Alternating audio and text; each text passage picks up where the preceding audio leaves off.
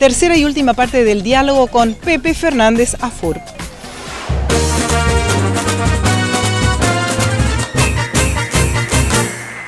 ¿Quién va en auto? ¿Dónde estaciona? Nosotros tenemos un, hemos eh, alquilado un predio para una institución, digo esto porque el premio tiene chamas, eh, chamas, eh, que está vallado, digamos, está todo con alambrado perimetral. Eh, hemos alquilado para a beneficio de una institución. Ahí va a haber estacionamiento, se va a correr el estacionamiento por un lado, y por supuesto después también sugerimos a la municipalidad que toda la parte, digamos, regimiento hacia el monumento, digamos, la 3 de abril, se estacione en 45 grados.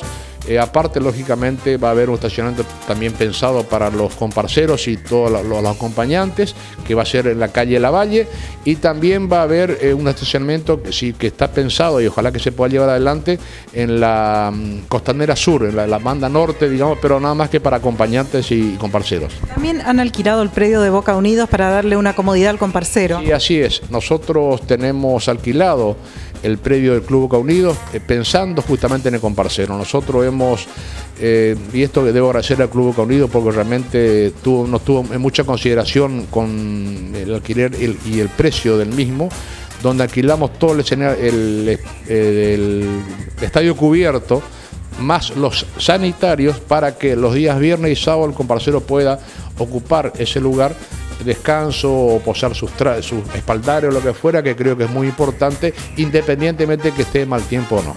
Para los que son más cholulos, ¿qué figuras de afuera van a venir a Corrientes? Mira, eh, las empresas están preparando y hoy, bueno, hoy me llamaron de Buenos Aires y tuve que optar, eh, optar por traer una, una o dos figuras importantes o traer un canal de televisión como Telefe, no para que transmita los carnavales, sino para que justamente pueda llevar imágenes de los carnavales y pasarlo con una promoción, digamos, y preferí honestamente por los carnavales correntinos que se difundan a nivel nacional más que traer figuras importantes. Pero yo creo que la figura importante, como siempre dije, es el comparcero. Hoy día el comparcero se luce y eso es lo que nos interesa a nosotros los correntinos. ¿Algo más que quieras agregar a manera de cierre de esta nota? Solo pedir a Dios que nos acompañe en este emprendimiento final de seis años de, larga trayectoria con los carnavales correntinos, que nos ayude el tiempo y bueno, y que todo salga bien para, para, para bien de los carnavales correntinos y para bien de Corrientes.